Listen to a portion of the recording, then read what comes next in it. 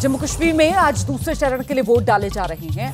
26 सीटों पर मतदान हो रहा है। मैं आपको तस्वीरें दिखाऊँगी जो 26 विधानसभा सीटें हैं जिनमें जम्मू और कश्मीर दोनों रीजन की ये सीटों का पूरा गुणा भाग जो है वो आपके सामने है। देखिए। नमस्कार मैं आपकी सत्य सिंधुजा। हर विषय में हर क्षेत्र में भारत विश्व गुरु है। सिद्ध चिकित्सा पद्धति विश्व के लिए भारत का अद्भुत वरदान है। किस तरीके से? श्रीनगर गांधरबल और बड़गाम। ये तीन ज़िले जो हैं, वो कश्मीर रीजन में आते हैं, श्रीनगर की आठ सीटें गांधरबल की दो, बड़गाम की पाँच विधानसभा सीटें जहाँ वोट डाले जा रहे हैं। वहीं जम्मू रीजन की अगर बात की जाए तो रियासी, राजौरी, पुंछ में आज वोट डाले जा रहे हैं। मतदाताओं की कतार देखने के लिए मिल रही है। आज सुबह से ही और जिस तरीके से जम्मू कश्मीर में पहले चरण की वोटिंग के दौरान जो मत प्रतिशत है, वो खासा उत्साह बढ़ाने वाला रहा था। साठ फ़ीसदी से ज़्यादा मतदान हुआ था। दूसरे चरण की वोटिंग में भी जो तस्वीरें मिल रही हैं, कहीं ना कहीं उससे यही सकारात्मक संदेश मिलता हुआ कि इस बार मतदान रिकॉर्ड तोड़ होगा, जो आंकड़ा शाम तक सामने आएगा। फ़िलहाल कटरा से लेकर बड़गाम से लेकर आप देख रहे हैं बलहमा और रियासी की ये तस्वीरें आपके सामने, जहाँ मतदाता पहुँच रहे हैं, वोटर्स अपने मताधिकार का प्रयोग कर रहे हैं अपने अपने मुद्दे हैं सबके मन में। और फ़िलहाल कटरा में, जहाँ माता वैष्णो देवी, जो परिसीमन के बाद नई सीट बनी है, वहाँ पहली बार वोटिंग हो रही है। मतदाताओं में जो उत्साह है, उसे जानने के लिए सीधे आपको लेकर चलते हैं अंकित गुप्ता के पास। अंकित, परिसीमन के बाद पहली बार माता वैष्णो देवी सीट जो है, वो अस्तित्व में आई है और खासतौर से इस सीट पर जो मतदाता पहुँच रहा है, उसके मन की बात दर्शकों तक पहुंचाइए। बिल्कुल रोमाना, और काफ़ी महत्वपूर्ण है क्योंकि 10 साल बाद सीट पर चुनाव हो रहा है। इस वक्त मैं जिस पोलिंग बूथ पर हूँ, इसको नाम दिया गया है ग्रीन ग्रीन पोलिंग स्टेशन उसकी वजह क्या है? उसकी वजह यह है कि यहाँ पर जो मतदाता जिन्होंने सबसे पहले मतदान किया है, उनसे जो है यहाँ पर प्लांटेशन करवाया गया है, यानी कि पेड़, पौधा लगवाया गया है। यहाँ पर एक शख्स हमको नज़र आ रहे हैं। ये शख्स अपने आप में महत्वपूर्ण क्यों है? राकेश कुमार है पैरालंपिक्स में, जो इन्होंने तीरंदाजी में ब्रॉन्ज मेडल जीता था। और आप तो ब्रांड एम्बेसडर भी हैं। क्या संदेश देंगे लोगों को? सर मैं लोगों को यही संदेश दूँगा कि बढ़ चढ़ के अपना मतदान करें और एक अच्छी सरकार जम्मू कश्मीर में लाए ताकि जो भी डेवलपमेंट जैसे स्मार्ट सिटी है वो हमारे जम्मू कश्मीर में बने और मेट्रोज वगैरह जो भी हैं वो बढ़ चढ़ के यहाँ पे टूरिस्ट आए श्री माता वैष्णो देवी में श्रद्धालु आए और सब कुछ अच्छा रहे। तो आपको लग रहा है कि पिछले दस सालों बाद चुनाव अपने आप में काफ़ी महत्वपूर्ण है और आप तो अभी देश की शान बढ़ा करके आए हैं पैरालंपिक्स में ब्रॉन्ज मेडल लेकर के। जी बिल्कुल बिल्कुल सर क्योंकि एक अच्छी सरकार आना बहुत ज़रूरी है। और ताकि जम्मू कश्मीर, जब भी हम कहीं बाहर जाते हैं तो जब जम्मू कश्मीर का नाम लेते हैं तो लोग यही समझते हैं कि जम्मू कश्मीर मतलब आतंकवाद। तो ये जो एक सोच है लोगों की, वो बदलनी चाहिए। एक अच्छी सरकार आएगी तो ये सोच ज़रूर बदलेगी। देखिए, देश की शान बढ़ाने वाले राकेश कुमार तो यहाँ पर है ही। पैरालंपिक्स जो जो अभी हुआ था, उसमें ब्रॉन्ज मेडल जीते हैं। लेकिन राकेश कुमार ऐसे यहाँ पर इस वक्त जो है बहुत सारे लोग जो बड़ी संख्या में घरों से निकले हुए हैं, फिर उसमें चाहे वो महिलाएँ हो या पुरुष हो लंबी लंबी कतारें लगी हुई हैं और हर किसी को पता है ये दिन काफ़ी महत्वपूर्ण है। महिलाओं से बात कर लेते हैं। आप लोगों से जानना चाहूँगा ये बताइए क्या सोच करके वोट करने आए हैं? जी आप बताइए क्या सोच करके वोट करने आए हैं? क्या सोचा है? बताएँगे? कुछ नहीं बताएँगे चलिए कोई बात नहीं है। देखिए महत्वपूर्ण क्या है? महत्वपूर्ण ये है कि घरों से निकले हुए हैं। हालाँकि सुबह से रोमाना हम देख रहे हैं कि यहाँ पर लोग अपनी बात रख रहे हैं। सर इशू क्या है? क्या सोच करके वोट कर रहे हैं? बोल दिया आपको पानी बिजली है डेवलपमेंट है। डेवलपमेंट है। दस सालों बाद यहाँ पर चुनाव हो रहा है।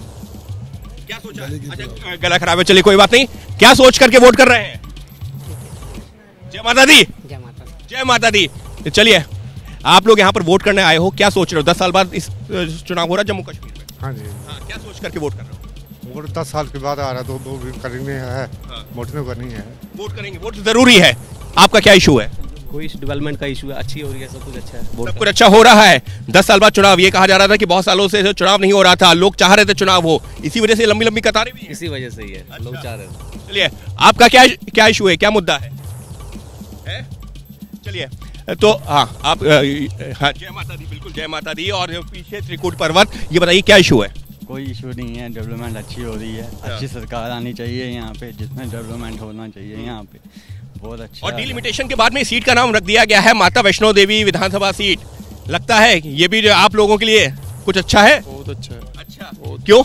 बहुत अच्छा है। बहुत अच्छा है। बहुत अच्छा है। तो रोमाना निश्चित तौर पर फिर चाहे वो पुरुष मतदाता हो या जो महिला मतदाता हर कोई कतारों में लगा हुआ है अपनी बारी का इंतज़ार कर रहा है और निश्चित तौर पर लोग लेकिन कहीं ना कहीं मौजूदगी पोलिंग बूथ पर मतदाताओं की ये दिखाती है कि उनके मन में अपने मुद्दे हैं जिसको लेकर वो वोट डालने के लिए पहुँचे हुए हैं और चेहरों की जो मुस्कान है वो भी अपने आप में बहुत कुछ बयां कर रही है। किस तरीके की खुशी, किस तरीके का जश्न, जमहूरियत का बडगाम में देखने के लिए मिल रहा है। सीधे आपको लेकर चलेंगे आसिफ कुरैशी के पास। आसिफ?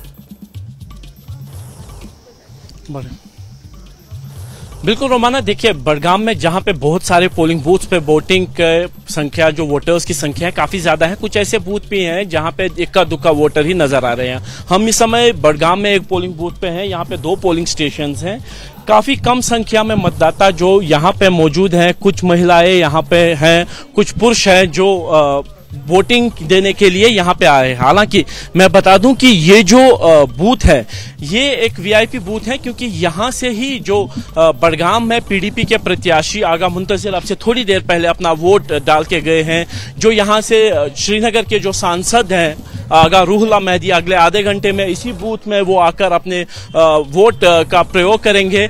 लेकिन कुल मिला के देखें तो यहाँ पे अभी भी जो वोटर्स की संख्या है वो खासी कम है, जो अभी तक वोट पहले एक डेढ़ घंटे में हो चुके हैं, उसमें वोटिंग का प्रतिशत काफ़ी कम है। लेकिन उम्मीद यही की जा रही है कि जैसे जैसे दिन बढ़ेगा, मतदाता बड़ी संख्या में वोट डालने के लिए आएगा। आप देख सके मैं कैमरामैन से कहूँगा, वो अपनी बाई तरफ़ पैन करे। धीरे धीरे करके ही सही कुछ मतदाता यहाँ पे आ रहे हैं, वोट डालने के लिए आ रहे हैं। और उम्मीद ये है कि अगले एक दो घंटों में ये संख्या जो है, वो बढ़ेगी।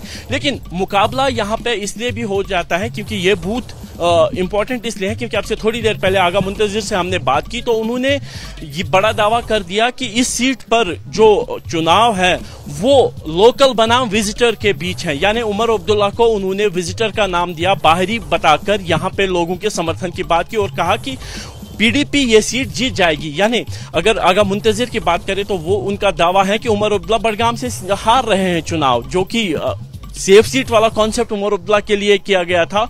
उस पर प्रहार करने की कोशिश है, लेकिन अंततः फैसला लोगों को करना है। लोग बताएँगे कि उन्होंने किसको चुना है किसको वो आठ तारीख को सामने आएगा। लेकिन यहाँ पे जो है आ, मत प्रतिशत अभी फ़िलहाल थोड़ा सा कम है। लेकिन मैं देख रहा हूँ कि जो लोग हैं वो आना शुरू हो गए हैं। मैं कैमरामैन से एक बार फिर कहूँगा कि वो दिखा दे कि किस तरीके से गेट खोले जा रहे हैं और मतदाताओं की जो संख्या है वो यहाँ पे धीरे धीरे बढ़नी शुरू हो गई है। महिलाएँ आ रही हैं पुरुष आ रहे हैं। लेकिन आ, कुल मिला के देखे तो अभी भी यहाँ पे मत प्रतिशत कम है लेकिन जो बूथ हैं बूथ वीआईपी हैं और यही उम्मीद की जा रही है कि जैसे ही जो सांसद हैं अगर रूहुल्ला आएँगे उनके साथ उनके समर्थक भी बड़ी संख्या में यहाँ पे वोट डालने के लिए आएँगे।